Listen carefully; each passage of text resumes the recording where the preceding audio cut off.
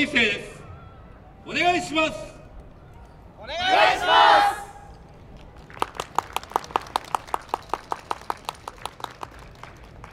す。寒いですね。あのかなり寒いと思いますので今紹介にありましたけども、えー私たちのチーム一番最後に一斉のでと思いっきり手を振るシーンがあります。ぜひ皆さんもここで少しでも体を動かしてね温まってもらえればと思います。寒空ではありますけれどもこの晴れ渡る空のように皆様の心に晴れをお届けいたします。それでは参ります。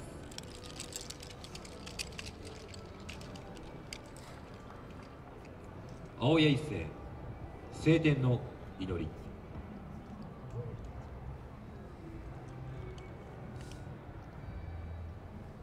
僕らはあなたの晴れになり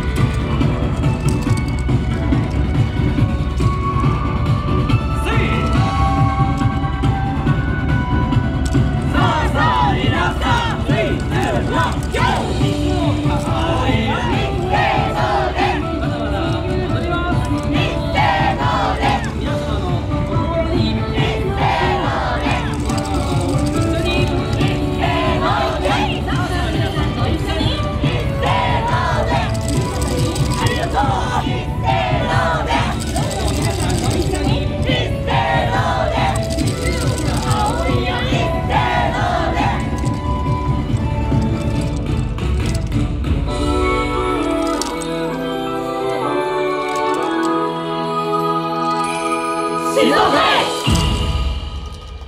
大谷一世第5話晴天の祈り応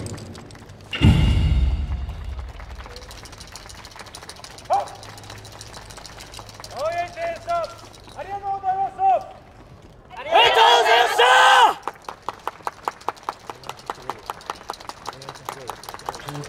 晴れ晴れしました。ありがとうございました。大家生の皆さんでした。後ろ。